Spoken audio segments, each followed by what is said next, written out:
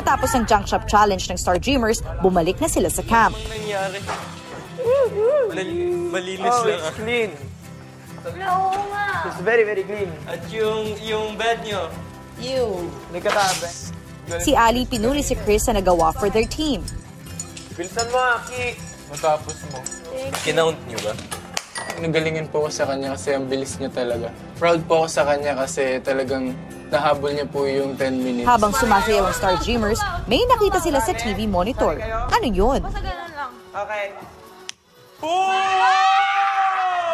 Ano yan?